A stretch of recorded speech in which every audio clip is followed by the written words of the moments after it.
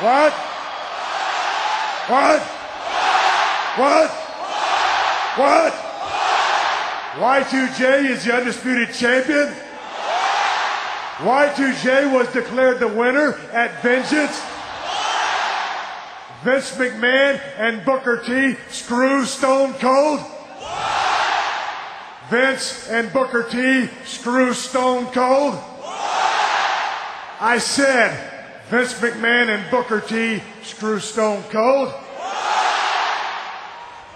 After last night, I sat there and I thought about it and I said, Stone Cold, there's no use in sitting here crying, whining, pissing, moaning.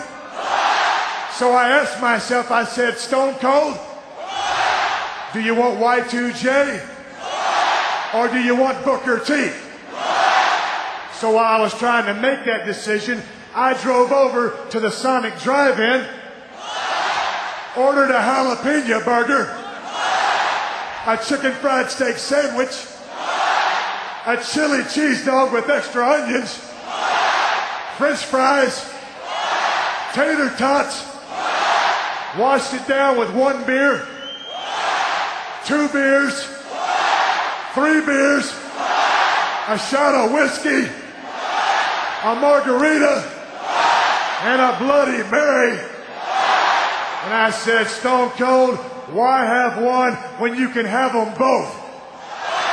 What? Booker T, you show up tonight with Vince McMahon and you got your security guards. You got your guard dogs. You got your pepper spray. So you can sit up there in your stupid little skybox and you can watch Stone Cold Steve Austin kick the crap out of Y2J in a steel cage. Y2J, you said you're calling Stone Cold Steve Austin a little trooper.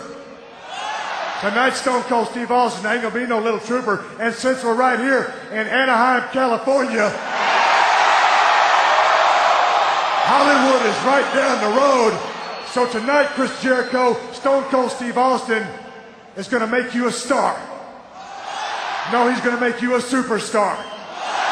No, just like you said, he's gonna make you a super duper star. Because you're gonna get the starring role in the movie I'm directing. And the name of that movie is My Name is Chris Jericho, and I'm getting my ass whipped in a steel cage.